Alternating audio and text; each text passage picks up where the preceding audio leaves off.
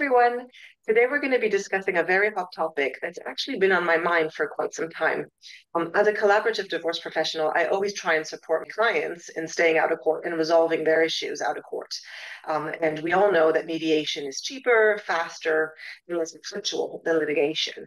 Uh, but there is the question of whether it's always an option. Um, and that's something that I've been really pondering. And so um, in this podcast, I wanted to discuss this exact topic, um, in particular, whether mediation is really an option in cases of domestic abuse. Sources of this episode, just to be clear and simple, we will be using the terms abuser and victim. I do know that there's a lot of people who like the term survivor better than victim, but we will keep it simple and stick to those terms. Uh, so to discuss this controversial topic today, I've invited two incredibly knowledgeable professionals, and they will each be sharing their own perspective on this debate. Anne de Montarlot is a psychotherapist, and Ian Lovatt is the head of mediation at Mediate UK.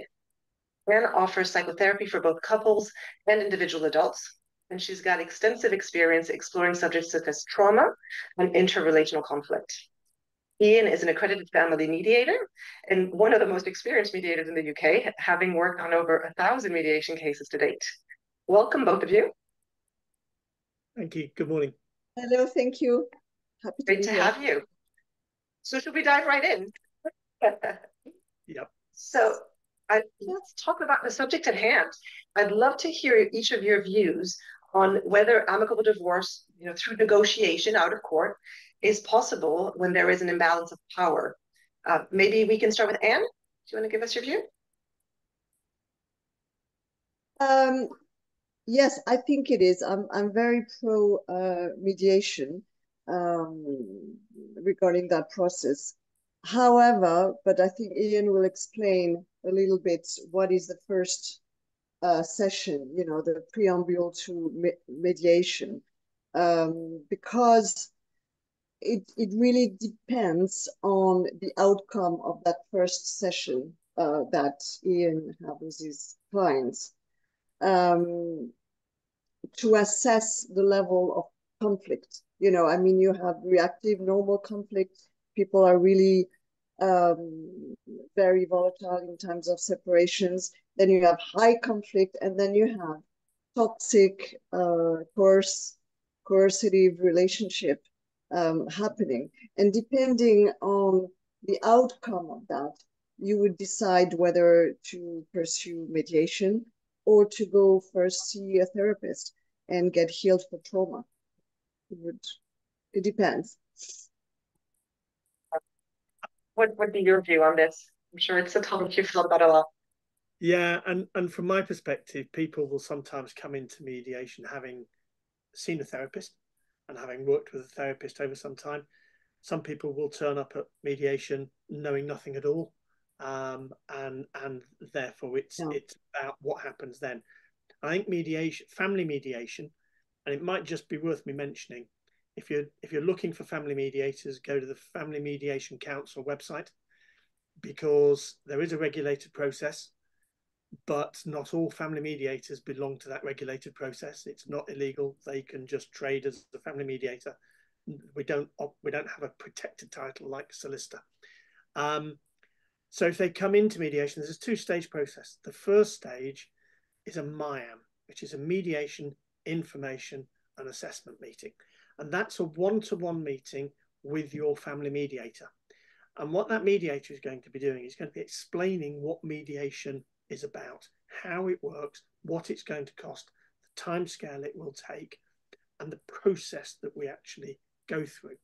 And when you look at those words, MIAM, mediation information, so we're going to give you a lot of information and assessment meeting. So at the end of the meeting, both parties making an assessment.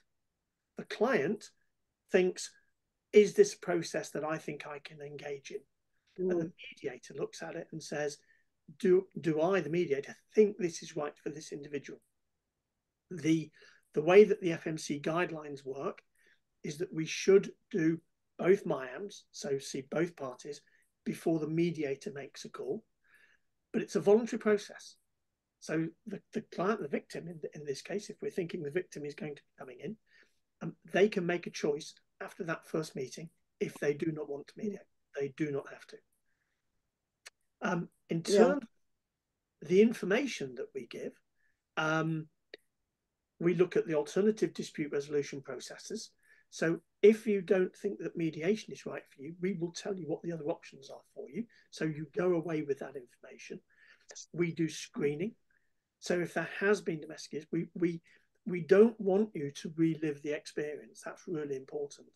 But we need to make an Mm. assessment whether or not this is suitable for mediation. So we need you to give us certain information. If you can't talk about it because it is too traumatic, tell the mediator that. Yeah. Try Yeah. not to be ashamed, and I know that's difficult, but try not, but but share it with the mediator, um, because it's confidential and it will help them in their assessment. They can talk. The mediator can talk to you about the law, whether you're married, whether you're cohabiting, and, and how the law will affect you. Um, they will signpost you, and, and one of those signposting actions is to therapy and to counselling. Um, Mm. And we're there to answer any questions that, that that you have, and we will try to do that. This is where you would Yeah. advise people not to put mediation and any red flags that would lead you to telling them not to continue. I, I, th- I think from my perspective, it's it's about where the client is, and Mhm. and the, the particular. Um, I, I, I, don't want to use the wrong term, but if you if if you consider they're on a journey, it's being at the right point in that journey to engage Mhm. in in, in mediation. Um, if they're anxious, if they're fearful, we have to ask a question as to whether or not they're going to get the best out of mediation, because it's a process of self determination. Um, and um, if if they are um, if they're able to process um, the the information within a mediation setting, if they're able to engage, and uh, you know whether it's finances or whether it's child arrangements that they're looking at, they must be able to engage fully in that process to be able to make the decisions that they need to make.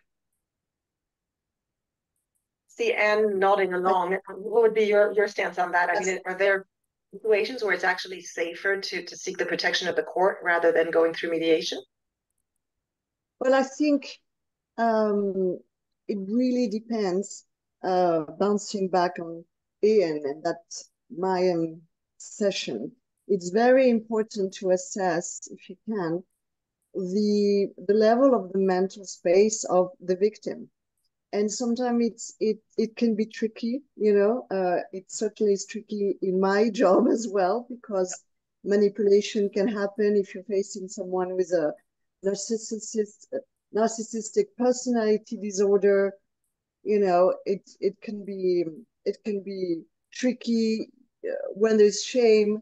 Um, there are quite a, a number of silences which can be a sign of problematic long-term abuse uh, the fear of retaliation. So yeah as long as there's not something quite chronic um, i think mediation is is great but it's when when the mental space is not there then for sure they have to go see therapy you know they have to seek therapy and and come back to mediation i mean it's it's, it's just one stop in the process for divorcing for co-parenting and then Yeah. resume It- it's not antagonistic at all it, it it works and you know works together Right. But I, I think as a coach, I'd also want to explore what the alternative is. You know, if they don't go to mediation, what would that look like? And, and, and usually it would be court of law.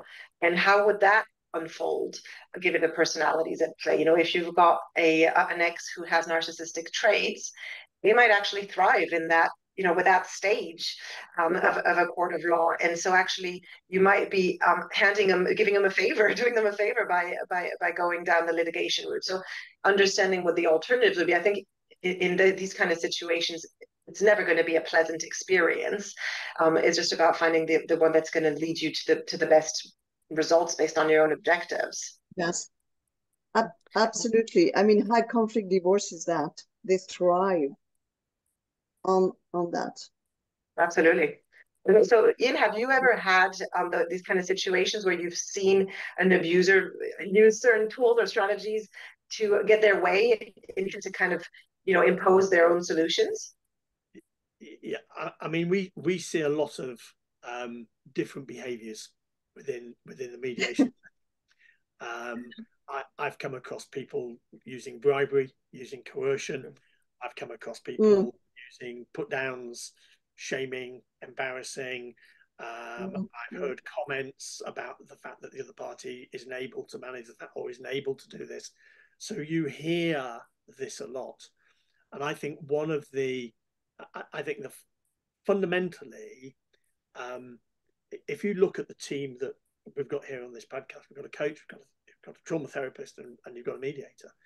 Um, for me, a victim needs to make sure that they have a great team supporting them yeah. And, mm. and, and, make sure that you've got that. Make sure you have someone that you can talk to. Make sure that you've got someone who can run something past. Um, and and from a mediation perspective, if if if if a mediator hears something derogatory within the session, I would be expecting them to pick the party up. But I think mm. for me, one of the one of the safety nets that we use in mediation is something called shuttle mediation. So you, when, when two parties are together, you either have shuttle or you have joint. Joint is you on the same screen at the same time. Shuttle, one of you will either be in a, you'll both be in breakout rooms or you'll be in a waiting room. The mediator will only have one of you on the screen at, at once. So they will shuttle between the two of you. That, mm. is a, that is a really nice safety net for a victim because at no point are they face to face with the abuser. Um, but also, the mediator is going to be very mindful of the language they use between the two. So mm-hmm. they are likely to use a lot of reframing. And they're mm-hmm. not going to. And, and, and, and often, what you will do is if you feel that there's a put down coming from the abuser, you will actually, I would actually say to the abuser, So what you're telling me is X. And I would reframe it to them before I then go to the other party um, so as they understand what you're what you're doing, what you're saying. Yeah. Right. If you if you were working with the, the victim in preparing for these meetings, how would you help them prepare psychologically? I mean, whether it's shuttle or not, there's still a, a, a contact more or less direct with, with their abuser. Yeah, I, I would um, I would definitely help them identify their triggers because don't forget these people know each other's blueprint, emotional blueprint quite well, even though they weaponized it and use it coercively. So really rehearse, know your triggers, your emotional triggers, uh, because you don't want to react, you want to respond. And there's yeah. a big difference in, in, in these two. Um, you know, you're going to be at the end and the receiving end of a lot of projection, of a lot of aggression, um, so just be prepared. Uh, you can, you know, with your therapist or your mediation or your mediator, perhaps, you know, role play a bit, use the wheel of emotions, you know, understand yourself better so you don't get caught into coming across as out of control because that's that's that is not good for yourself first and and and and, and for the court and and and it, it's not about being a robot and not being within your emotions but you have to rehearse a little bit um, what emotions are involved what script it is of relationship it is attached to. You know the more you you know a bit about your relational script the better equipped you are to face things being thrown at you or provocation. Um, I would um, I would use also, you know, like we talked about, what is your definition of what is success, a win-win looks like for you. Um, at that time, at that stage, like Ian said, we meet the clients where they are on their journey, and that's that's what it is, and it has possibilities and constraints, but yeah. that's that's our target. And uh, yeah, just just you know, uh, manage your expectations, as we say, mm-hmm. what it is you want to achieve, frame it, write it down, you know, stay in, in that in that box. and of course, throughout, use a lot of exercise of uh, self compassion and mindfulness. You know, because a lot of uh, a lot of victims, and it's something you can do. You know, but that also has a therapeutic help. But it's something you can do on your own. It's it's you know a lot of victims suffer from they need self forgiveness and they need self kindness because when they're really battered and their emotional state and their mental state is not great, they think it's their fault because that's the whole thing about gaslighting and lying and and and the abuse and the grip and the and the toxic violence. So in order to face a system, a mediation system or a court system, you need to self-forgive and to uh, self-kind you know, use self kindness, compassion. Yeah. Yeah. You know, and there's loads of stuff around. There's Kristin Neff, there's Tara Brach. It's online, it's free. Do it. It, yeah. it, it will prepare you. What you're saying resonates with me. Because certainly, as a coach, I would very much focus on objectives. I think one of the of the keys is to think it and treat the mediation as a business meeting. Uh, so again, you know, there are emotions; they're hard to avoid, but mm. setting them aside and coming in with a clear objective. What do, what does good look like for me at the exit of this meeting? And in a lot of cases, it's not you know seeming better than my ex it's actually getting the outcomes i'm i'm, I'm trying to obtain um, and trying to really get the person prepared on the factual side of things and approach the, the, the conversation through facts, through numbers, rather than through emotional emotions and and moral judgment. And so preparing for that negotiation, you know, being clear on their red lines, being clear on things that they're actually quite open to negotiate, coming to the table with a proposal that is considered and, you know, thought through and reasonable. Um, all of that will help give the person a sense of control also that, you know, that, that they wouldn't necessarily have and really just stay focused on the objective of the meeting, which is to get an agreement that suits your needs. Um, and, and, and all the rest is noise in the background. Uh, so that so there's mm. definitely a big piece around you know managing the emotions, making sure that you're coming to the meeting in the right mindset, but also that you're prepared with what you want to say. You know, definitely role play, scripting, all of that would be really helpful in making sure that you come to the to the table fully prepared. And then and the last thing I'd say is having a really good understanding of what the best and worst alternatives would be if to a negotiated solution. So if if you did go to court, what the best possible outcome be for you, and what would the worst possible outcome be for you? Um, because I've seen a lot of cases where there is an imbalance in the in the relationship, and one of the two will use um, a, a fake threat of, oh, you, if we go to court, you won't get this, um, as a way being their way into what they want. And so, being clear and speaking to your lawyer to understand what the alternative would be, it allows you to kind of be to, to be clear about the range of, of agreements you're willing to, to settle on. Um, so, so Ian, one question that I've often wondered about is, you know, as a mediator, are you specifically trained on how to deal with these situations? And you know, you mentioned shuttling, but are there other mechanisms that you can put in place to protect the victims and avoid any retaliation?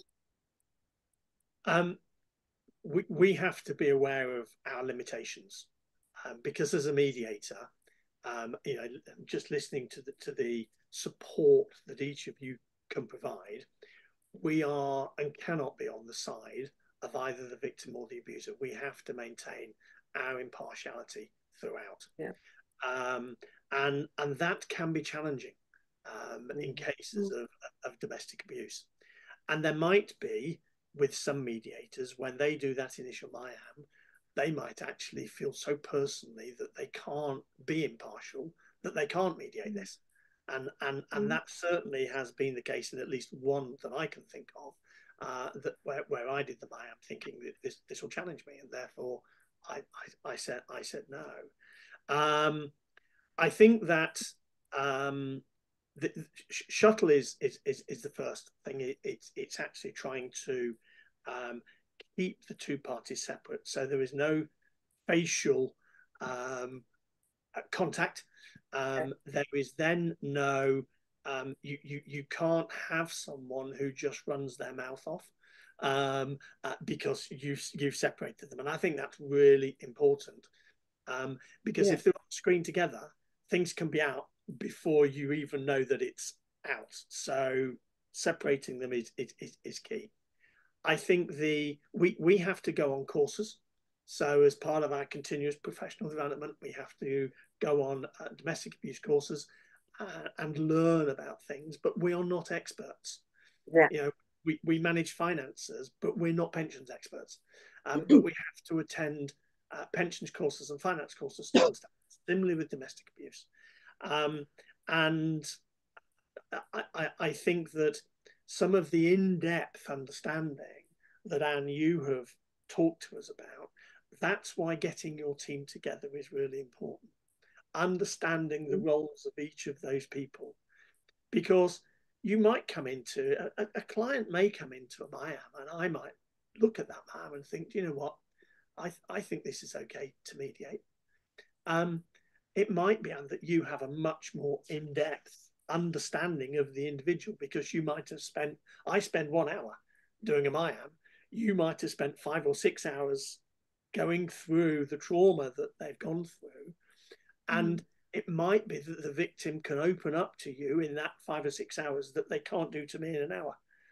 And mm. and therefore listening to the guidance and the advice of, of, of the team that are around them is really important. And it's and it's not just mm, and it's about that it's about the, the victim feeling empowered and able to proceed and wanting to proceed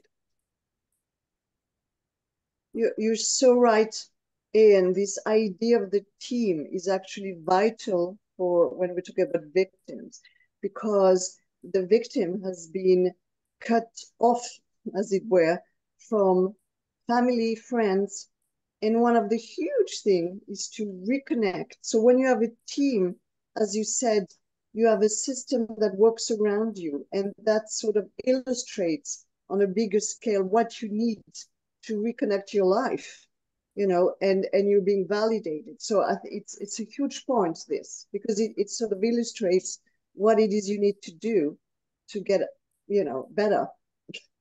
Mm-hmm. So hugely important solicitor is part of that team as well. Yeah, absolutely. The right one. As might be a financial advisor, or, or you know, depending on the situation, there's a, a, whole array of professionals that they can pull in. Um, but it, it, I agree that having somebody who is there for you in your corner and and and you mm-hmm. um, will be will be a very important boost for people's confidence and, and ability to face these situations. Is, is there anything else, Anne, that you would do to help people with any fear they might feel with confrontation with their their even if there's a shuttle you know there there might be a fear of retaliation for anything that they've said or or offered um, how would you help them deal with that and, and prepare for that well i would it's it's tricky it's complex it's a complex question to answer yeah, it is readily. But I, what I would do, I would really focus on what it is they need to feel in control, what it is you need to feel in control and safe.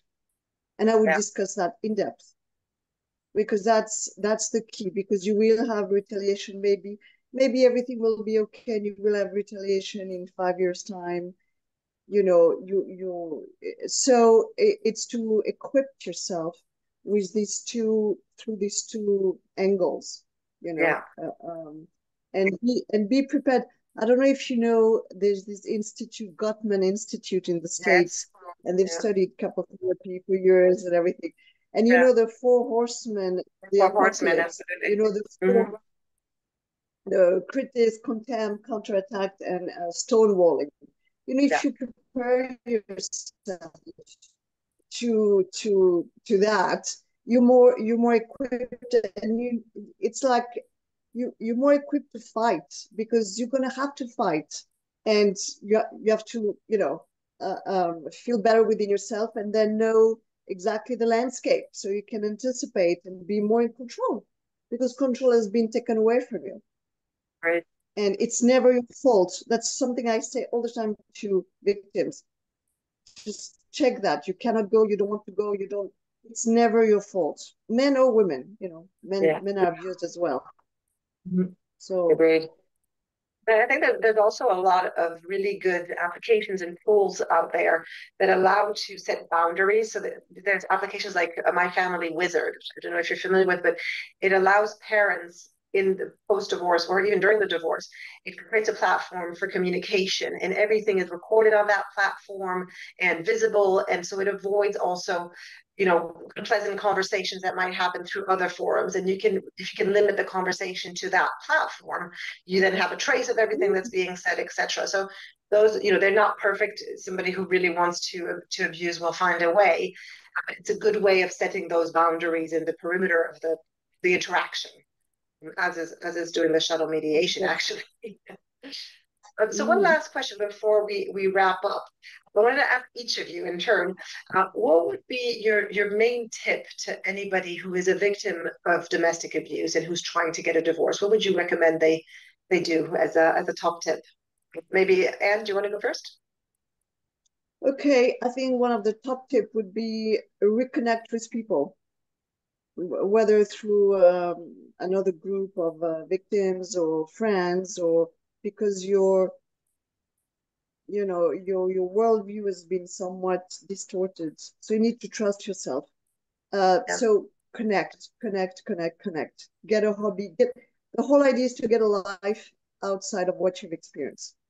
Yeah. So i love that. That makes a lot of sense. Yeah eh, that's that's hugely important and self-compassion. That's my yeah. two main tips. Me too. Love that. Ian, what, what would yours be? I, I'm not so sure I can better those two, but my my my top tip is is is make sure you build that team that you have real trust mm. in, that you mm-hmm. mm. accept the advice that the team are going to give you. I mean, the mediator won't give you advice, but you know your your coach, um, your therapist, just make sure that you have got that team that can really support you because yeah. it, it's it's a long journey and you, yeah. you need to have people around you yes. who you can rely on. I completely agree. I think I think mine. I was thinking of what my tip would be, and I think it would be safety.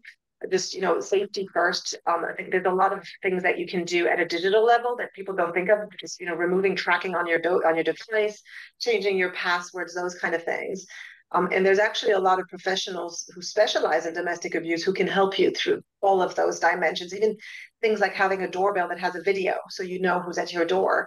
Um, and so, so engaging yeah. with those people to understand what you can put in place to protect yourself uh, because it's not just during the divorce it's also afterwards that you want to make sure that you're mm-hmm. you're staying safe and, and your children too if if you have children well, thank you both so much. This was such an interesting debate. I really enjoyed the conversation. I could have stayed here all day talking about this. Um, I really appreciate your time. So thank you both. Thank you. And uh, have a lovely you. day. Thank you for inviting us. You Pleasure. too. Bye. Bye. Bye. Bye, Ian. Bye, Ian.